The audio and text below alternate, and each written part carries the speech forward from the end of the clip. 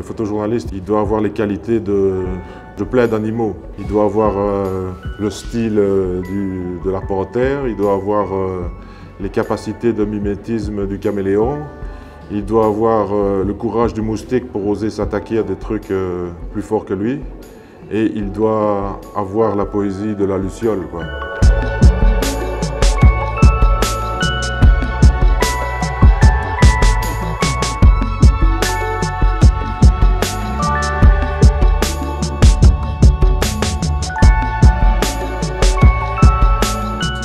Depuis une quinzaine d'années maintenant sur euh, le territoire, l'homme et un animal vénéré. Et ces trois éléments d'un triangle font en sorte qu'il y ait un équilibre dans cette géographie, mais c'est menacé par la modernité ou par, et ou par le réchauffement climatique. Donc euh, le premier, c'est évidemment les débardeurs de nos forêts ardennaises, qui ont, eux, le territoire, c'est l'Ardenne, avec l'animal vénéré qui est le cheval de trait. Ensuite, j'ai travaillé sur les pasteurs nomades du Turkana qui vivent principalement avec leurs, chèvres, leurs moutons et leurs euh, dromadaires. Territoire absolument inintéressant pour le Kenya, mais sur lequel ils ont réussi à maintenir un mode de vie depuis des millénaires qui est aujourd'hui menacé par le réchauffement climatique qui tue leur cheptel. Pour la première fois, ils ont, euh, euh, une transformation de leur vie qui les perturbe tellement qu'ils ne s'y adaptent pas alors qu'ils sont adaptés à ça depuis des millénaires. Ça, c'est une belle histoire. Là, je suis avec, euh, un groupe de pasteurs nomades turkana et ils n'en peuvent plus d'attendre la pluie, d'autant plus que le, le, climat leur joue des tours parce que les nuages passent et ne crèvent pas, ils ne pleuvent pas. Et subitement, ils me disent, c'est un peu ta faute à toi, homme blanc, parce que depuis que vous envoyez des oiseaux de fer, c'est-à-dire des avions, dans le ciel, on, voit bien que nos, nuages ne percent plus. C'est vous qui perturbez notre climat à nous. Et en fait, c'est pas tout à fait faux ça. Tu vois, il y avait une logique là-dedans.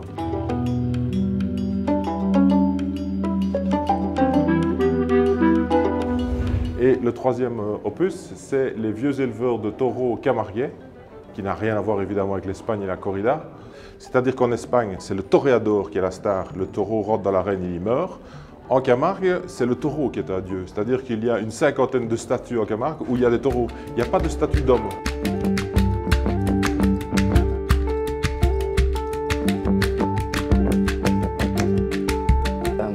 Choisi l'option euh, photojournalisme.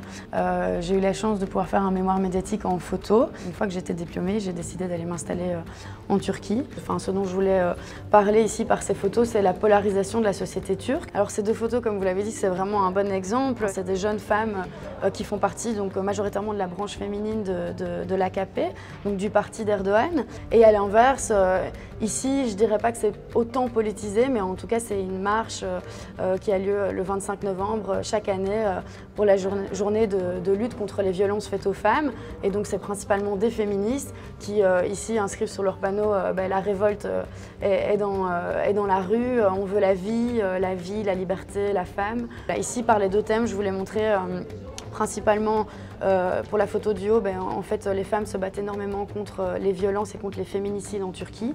Et ici, je voulais parler en fait de cet engagement des femmes dans l'AKP, parce que comme je vous l'ai dit, il y, a une, branche féminine, donc il y a plus de 5 millions de femmes qui euh, œuvrent pour l'AKP, donc euh, c'est un des partis au monde qui a le plus de femmes engagées. C'est quand même euh, voilà, c'est une notion qu'on oublie souvent.